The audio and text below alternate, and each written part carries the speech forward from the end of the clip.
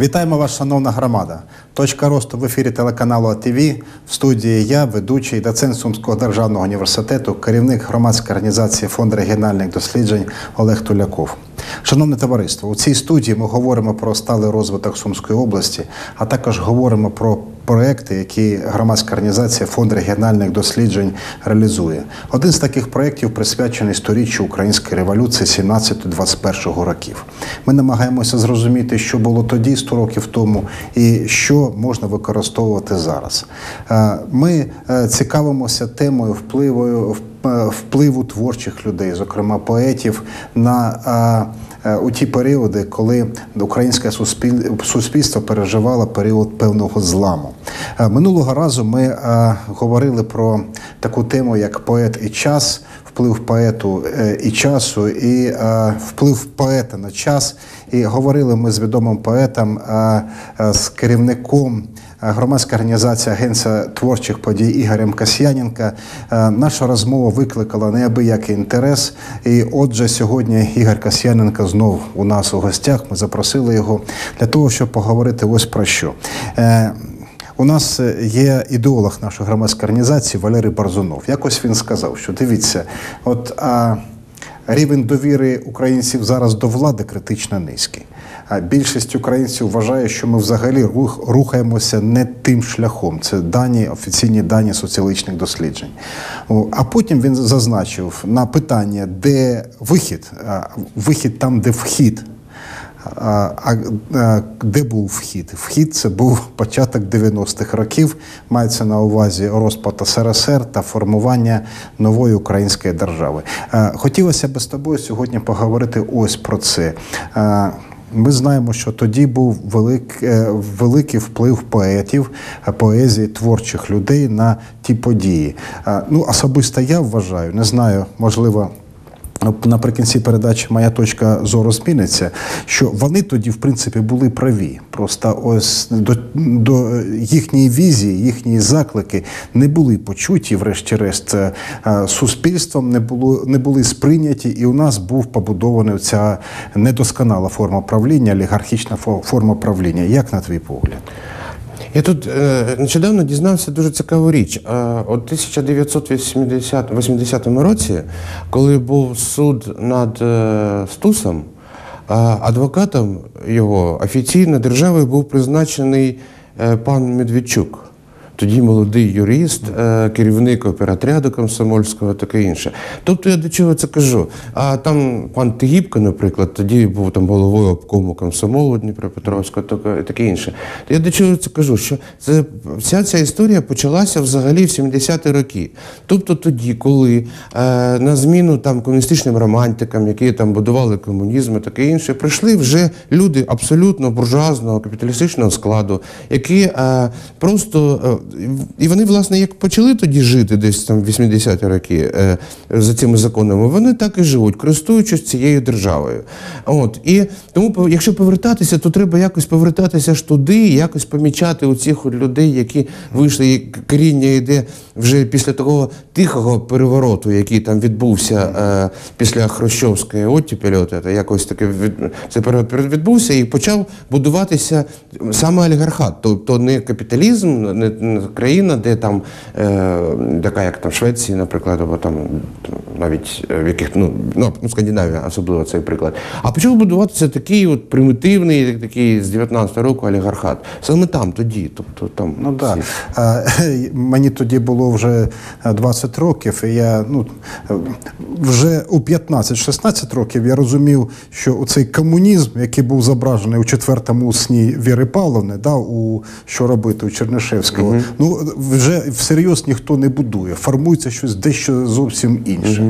Е, якась здача йде ось, інте- суспільних інтересів. Ем, але поети мали певну візію. Вони е, бачили щось таке справжнє, щось таке правдиве і щось таке дійсно, е, дійсно потрібне суспільству. Ось, на мій погляд, от так було. Там була дуже цікава річ взагалі. Якщо повернутися трохи на початок там 70-х і згадати українську гельсінську спілку, так і, і взагалі історію, яка там відбулася. Мені здається, що взагалі одним з дуже сильних таких важелів, які зсунули е, ну, цю, цю систему, взагалі цю радянську систему, яка вже і сама хотіла якось пере... Тобто люди там з обкомів вже давно хотіли пересісти в е, кресла керівників крутих фірм, в банк і, таке інше. Але щось ще потрібно якось було здвинути, зсунути це. І от поети зробили тут таку е, роль. Вона з одного боку позитивна, тому що нарешті виникла українська держава, яка там мала всі абсолютно там міжнародні інституції, входили в міжнародні інституції, в свою територію мала армію, там міністерство, таке інше структуру, тобто бери і користуйся. І все. От, а, і е, це дуже класно, що це, це відбулося. Так от про гельсінську спілку, я що хочу сказати, що вона дуже вона виникала, її створювали люди, там Микола Руденко, наприклад, він там був членом Союзу письменників, Союзу письменників України. Так? Що таке спілка письменників? Це людина при Радянському Союзі. Це людина, яка має там квартиру від держави, там дачу від держави, е, в Коктебелі там в цьому будинку письменників відпочинок в Криму і таке інше. Тобто людина щось таке отримувала від і він. Я, наприклад, не бачив ну на початку, щоб він ну з того, що я там так читав, що це було вороже ставлення до радянського союзу. Просто вони хотіли, щоб е, вони хотіли як інтелектуали, і це дуже класно і дуже вірно. Вони хотіли як інтелектуали е, контролювати е, виконання прав е, або збереження прав людини в країні. А режим сказав: ні, ви що? Ми не будемо, це ми будемо такими робити. І оці вже майбутні буржуї, які, значить, тоді вже, вже стали частиною режиму, вони сказали, ні, ми будемо контролювати. Контроль буде тут насправді. І почали проти е, учасників Гельсінської спілки фабрикувати ці всі звинувачення. Там же ж вони сідали не по політиці всі. Там хто там за зґвалтування, хто за крадіжку, хто ще за щось. Тобто практично, практично все було це на якісь наклепи, в буквальному сенсі наклепи. От, а і от тоді от виник цей конфлікт насправді, який е, з одного боку, е, що далі виникла? Виникла легенда про людей цих українських. У нас же теж такі були. У нас царик, у нас ну, феноменальна історія про нашого Миколу Данько. Ну це взагалі історія от унікальна. Я хочу її розказати. Можна? Вона Да-да. просто вона варта того, щоб її розказати. Був такий Микола Данько. Це 70-ті роки. Він фронтовик. Він е, працював е, в газеті Ленінська Правда, був там заводділом. От е, у нього квартира була теж з радянського союзу. Все він такий був нормальний, ну український е, радянський українець. От нічого у нього не було проблем, і у нього виходили книжки в там видавництвах, знову таки державних. Вийшла така книжка Червоне соло. І вона якось потрапила на очі тодішньому секретарю обкома компартії е, наша В- Войтовський, здається, прізвище. Воно взагалі не варто того, щоб його пам'ятати, але ну тодішній секретар. І він сказав, що це все погано, то тут є націоналізм. Я читав ту книжку, там жодного націоналізму. Там є любов до рідного краю. Ну так, тобто це все таки різні. Тобто не було ніякого сепаратизму, там там відділення, просто любов і милування рідним краєм. Такі класні поети. І почалась травля цього Микола Денька. Його викинули з роботи. От йому просто його в КГБ пресували так, що там, ну не дай Бог, щоб комусь так потрапити туди. От і довели його до того, що він вже такий напівкрезі був. Він там пив, оточення було нульове навколо нього. Оце е, е, гра режима з е, поетом. Так? А з, а з іншого боку, виникла легенда вже про те. Тобто, власне, він нічого такого особливого, він був досить лояльною людиною. От, а він просто говорив, говорив про те, що я люблю свій рідний край. Так? Я хочу, я розумію, що таке добро, зло, що таке справедливість, таке інше. Режиму це не сподобалось. От, е, але легенда виникла. І легенда, ця легенда стала частиною того міфу в позитивному сенсі, який створив ще Шевченка про Україну. Так? І все це якось накопичилось між людей, мені здається, так? І стало тим, що чому взагалі люди, які жили в Радянському Союзі, для більшості яких Радянський Союз був е, місцем народження, так? Чому вони у такій великій кількості проголосували за незалежну Україну? Тому що була легенда якась про незалежну Україну, про борців за цю незалежність України, які популярні були на початку всі ці е, дисиденти, був, був ще так, і там Лук'яненко, там Чорновол, там таке інше. Тобто на них ставили, давайте, приходьте, щось, щось робіть. А вони зробили власне те, що могли зробити. Вони сказали, що е, система, в якій ми жили, вона несправедлива. Вона несправедлива, тому що е, тут, е, от ми, ми хотіли би просто вам показати, що отут там, є проблеми з правами там, людини і ще щось, а з тими сказали ні. Так, я несправедлива, я не дозволю, я сама буду це робити. Ну цей конфлікт продовжується насправді. І зараз він продовжується. Зараз люди, які ну справжні українці, які я маю на увазі, які люблять свій рідний край, не якісь патріоти, яких ну взагалі це дуже такий туманний термін. Люди, які для яких ця це батьківщина, це місце, де ти народився, де е, ландшафти, краєвиди, це все твоє, і а інше ти просто не сприймаєш.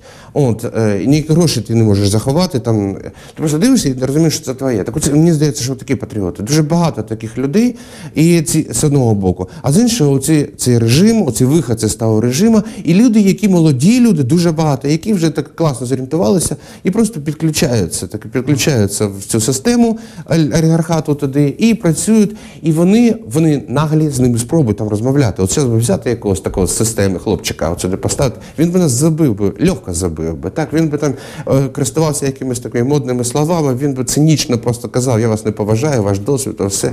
Тому що я знаю, що мені система сказала, створ- створила умови, ця система. І вперед. Ну такі комсомольці. Комсомольці. Тобто система взагалі комсомольці, але цього, цього часу.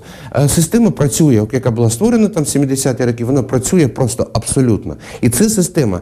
Люди кажуть, що совок в нас. Так, є і в нас совок, тому що ми там можемо там і підкорятися начальству, таке інше. Але совкова система, ота от дуже така жорстока, вона працює. Є, таке, є такий термін тяглість. тяглість. А, е, це вплив того, що було на сьогодення. От я би хотів поговорити про філософа Григорія Сковороду, незважаючи на те, що це не наші часи, ну все ж таки. А, він теж був поетом, і от він е, м, прочитав. е, Виступив перед молоддю з е, Слобідської України, шляхетною молоддю Харківської губернії. Вхідні двері до християнської добронраві для молодого шляхетства Харківської губернії. Ось зверніть увагу: увесь світ спить, та ще не так спить, так сказано, коли впаде, не розіб'ється. Спить глибоко, розкинувся, наче прибитий. А наставники не тільки не будять, а ще й поглажують, примовляючи спини бійся, місце хороше, чого боятися. А, про що тут? Він намагається ось. е, Зламати, е, зламати систему, закликає до зламу цієї системи, а зламати її можна тільки прокинувшись. От а, чому у 90-х прокинулось? Пав СРСР. Да? Чому а, зараз починають всі прокидатися? Через просту річ. Е, рівень життя на Україні на рівні відсталих, дуже відсталих держав. Тобто зле стає всім. Оця система е, сплячки, е, яку називають е, корупційний консенсус, що певні, певній частині людей це, це- влаштовує. Вони пристосувалися, вони не ходять, не хочуть нічого міняти. Частина людей просто знаходиться в зоні комфорту, не лама її і ламати не можна. Але ось на наш погляд зараз потребують змін як люди, ну будемо виражатися недосконало, але зрозуміло, можливо, так буде для наших телеглядачів і зверху, і знизу. Розуміють необхідні змін і зверху, і знизу. І ось чому е, я і запросив тебе поговорити, ось згадати 90-ті роки і зараз роль поетів може бути не менш. Е, Не менш значущою, ніж тоді. Ось ще раз до 90-х. Ось як, то- як тоді все відбувалося, я пам'ятаю, що ось у, е, у, у такому натхненні перебувало суспільство і поетів читали, до, до поетів звертали увагу. Ось Стус, про якого ми говорили, його вірші ходили у нас по гуртожитку на історичному факультеті. Ми читали, дійсно, ну, от надихалися цим. Угу. Тоді ще я пам'ятаю, були якісь там концерти, такі бардівські, поетичні. Це було так.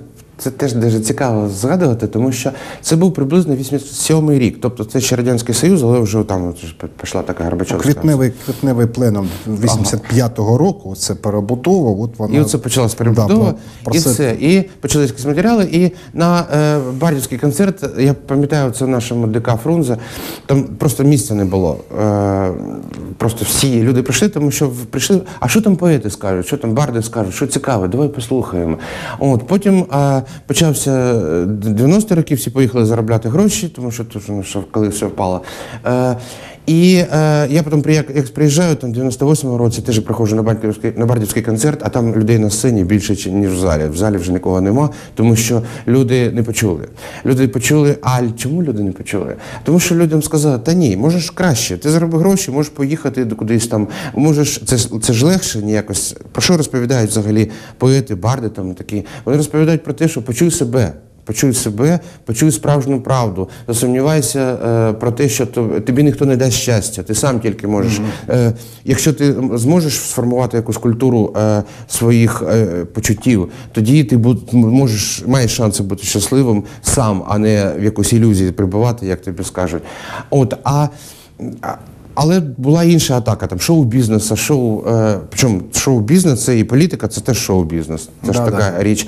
Е, і людям казали, там іди там щастя шукай, там щастя, іди заробляй, заробляй, заробляй, заробляй, заробляй. Якщо ти заробиш, тому що і тоді ти будеш щасливий. Тому що якщо взагалі ти, якщо ви такі умні, чому ви такі бідні, да? От, а і зразу людина, так, точно, треба заробляти, так і пішла. І, а, а, ну заробив, ну заробив, а треба ж витрачати. Ну пішов там косметичний салон, там пригоди якісь ще нормально, класно, все задоволення, тактильний контакт, дуже багато людей кінестетики, де дійсно отримують це, цього задоволення. І якось пере- перестали слухати. Е, Тим більше дуже великий цей вал інформації, але це тимчасово.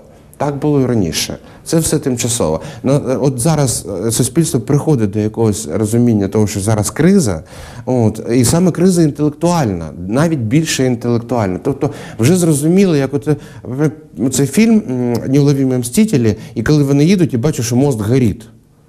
От, і вони все розуміють. Ми розуміємо, що мост горить. Тобто вже ж 100%, ми туди заїдемо. І е, питання тільки одне: впаде він, коли ми будемо їхати, чи ми це через це проскочимо? Але вже так, я думаю, що розуміють це всі. По крайній принаймні, от дуже хочеться сподіватися, що там наверху теж розуміють. Е, Розумієш, от е, коли я е, починаю спілкуватися, я, мої колеги спілкуватися з розумними людьми, то а, стикаюся з такою точкою зору. Нічого зробити в принципі неможливо. Ми є заручниками ситуації. Ну от що нам залишається? Жити так, як жили, да? будь-що буде. Ось ми сьогодні, на мій погляд, говоримо про, про дуже важливу річ. Знову ж таки, це тяглість. Це все, це, це все еволюційний процес, який е, набуття самосвідомості. Тут е, доцент Артюк був, мозговий був, що сама ідея, вони говорили, сама ідея виникла держави, української самостійної держави, виникла в модерну добу у адвоката Міхновського у 19 столітті, вибачте. Да? Ми дійсно суспільство молоде, яке розвивається, це треба розуміти. І ось ця апатія, зневіра, якась віча, які зараз існують в інтелігентських колах, треба позбавлятися. Правильно, абсолютно правильно. Інтелектуальна криза. Нема програми сталого майбутнього, про що ми на минулій передачі говорили. Нема візії майбутнього, не- нема цього майбуття. Поети 90-х. Е, е, Поети радянської доби, поети української революції. Вони, е, вони описували певний ідеал, і у цьому описі був присутній певний емотивний компонент, як у Сосури, та любіть Україну, та емотивне, та емоції. емоції. У даному разі, на наш погляд, от зараз, у 2018 році, своє слово тре- треба сказати все ж таки інтелектуалам, науковцям, які би почали розробляти цю модель, перш за все, економічну модель, економічну доктрину розвитку України. У нас та є така доктрина. Ну от ми як можемо популяризуємо. Але Роль поетів тут просто не, на, на наш погляд не перевершена. На мій погляд, взагалі, я не знаю, кого ще люди послухають і кому ще повірять зараз. Е, Ну так, принаймні про це залишається сподіватися. Е, В Україні е, існує декілька проблем дуже важливих. Ну, перша проблема мовна, так? Тобто, а, якимось чином а, треба цю проблему вирішити. Я от вчора дивився інтерв'ю з поеткою, з поетесою з Вінниці Іриною Бірьозою. Вона жила в до 14 року, вона жила в Севастополі, і вона була е, вона лікар і працювала там в госпіталі, російський госпіталь, який створив її батько. І там було дуже багато е, учнів батька, і вона там теж стала лікарем. Коли почався 14 рік, е, почалися.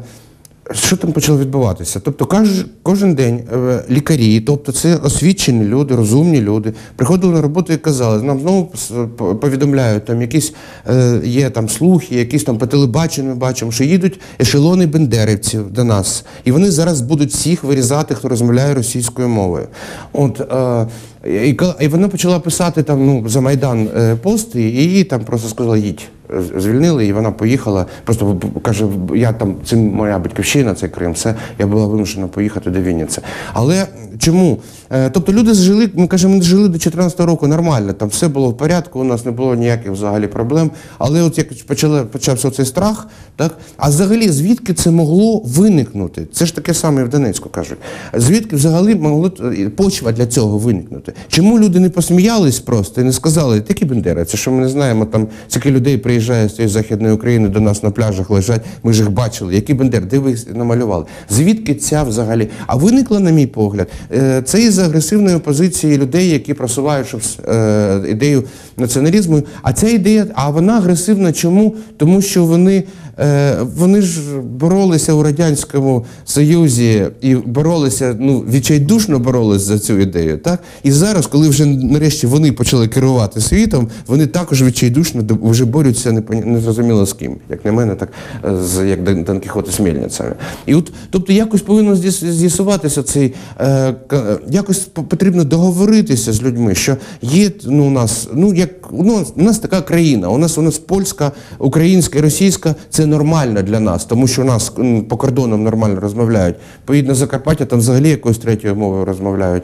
І вже не, не русинська, а там якась русинська, чешська, таке і таке інше. Тобто нормально все це якось домовитися, там е, вирішити якісь. Я нічого не пропоную, я просто кажу, сісти всім інтелектуалам нормально і говорити про те, що е, якщо хтось переможе зараз, от ми сядемо і хтось переможе, то це буде проблема України. Це буде чергова проблема України, привід для війни тільки. Тому що ніхто нікого в цьому світі ще не перемагав. Ніколи так не було до кінця. От. Е, і коли ці інтелектуали з обох боків зрозуміють, у нас є дуже сильні по- поети, які російською мовою пишуть. У нас є дуже сильні поети, які пишуть українською мовою. Сісти, об'єднатися.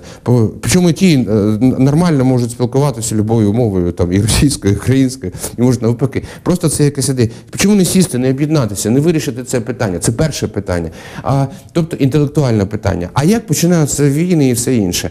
Кажуть, ну все, ми тут за мову там або там за, за, там, за патріархат, за той, який нам потреб, потрібно, все, і починають, і починають грабити. І починають забирати матеріаль, матеріальні цінності. Як Ну, вихідною ідеєю ось у нас, у нас е, у колах, які пов'язані з нашою громадською організацією, є така, що об'єднати, от про- що ми говоримо, е, може об'єктивна економіка. Наприклад, об'єднати може ідея утворення е, якого-небудь кооперативу, е, прибуткового кооперативу. Економіка об'єктивна, правильно? Ну, да, абсолютно. І от тут є так зване е, культивування демократії. Ви, вистраждати треба цю е, демократію. Як якось у одного е, зарубіжного, зарубіжного мислителя да, спитав, ось ви, ви знаєте Україну, він дійсно знає Україну. Так я говорю, в чому тут проблема? Сказав одне слово: сваритесь. Ви сваритесь. Ви чомусь сваритесь. Ви, ви не розумієте, що ви е, апріорі пов'язані з е, спільною територією, от, і е, вам треба будувати спільне майбутнє. Ви можете, кожен з вас може будувати своє десь власне майбутнє або тут, або за кордоном, що зараз е, роблять українці, а ви сваритесь. А, сварки чи теж в них є певні об'єктивні підстави через дуже неоднозначне і складне наше історичне минуле. Але це все можна подолати. Це просто обов'язково подолати потрібно. Якось повинна, бути гармонія. Скоріше так, я іншого вибачаюся, не те, що подолати, осмислити. От інтелектуальна робота, осмислення, осмислення, освоєння розумом та побудова чогось нового. Ну, Ми ж бачимо, які тенденції виходять зі сварки. Причому, що прикольно, що коли ми е, ну, ти дивився фільм, е, це здається мені «А- огнем і мечом. От, і там весь час запитували, коли були вибори на Січі, що ви чесна людина, там питають ці, чесна людина, так? А у нас подивись на ток-шоу на будь-яке, ви крадете? Ні, це ви крадете, ні, це ви крадете. Тобто зміна, зміна парадігми, не наоборот. А? Навпаки. Тобто виходить, що е, чесно, по-перше, чесна людина повинна бути. Да?